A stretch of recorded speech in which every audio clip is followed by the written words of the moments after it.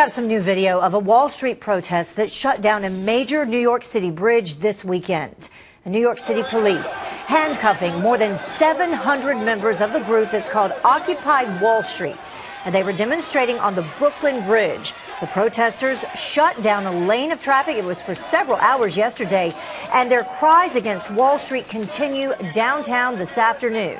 Julie Banderas is live in our New York newsroom with more. Julie. Yeah, it had been peaceful up until yesterday anyway. The group Occupy Wall Street had orchestrated an impromptu trek to Brooklyn, but as they walked in thick rows on the sidewalk up to the Brooklyn Bridge, some actually spilled onto the roadway after being told to stay on the pedestrian pathway by police police. Then this happened.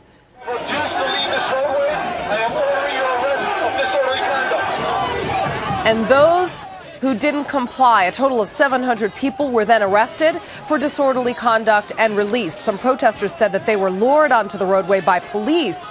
Some sat on the roadway chanting, let us go, while others yelled at police from a walkway above. Now, police say no one there was tricked into being arrested, and those in the back of the group who didn't hear those announcements were allowed to leave. The demonstrators, meantime, have been camped out there in the financial district for two weeks now, holding signs in protest of everything, really, from corporate greed and social inequality to global warming. It had been peaceful until clashes with police began yesterday after they swarmed the Brooklyn Bridge and shut down a lane of traffic for several hours. Also, other parts of the country, there are protesters gathering there as well in Albuquerque, New Mexico, Denver, Boston, and Los Angeles to express their solidarity with the movement here in New York. Uh, turnout has reached as high as a few thousand in some places. Back here in New York City, a core group group of people, about 200 in all, remain camped out throughout the week, sleeping on air mattresses, using Mac laptops, and playing drums. A few times a day, they'll march down to Wall Street yelling,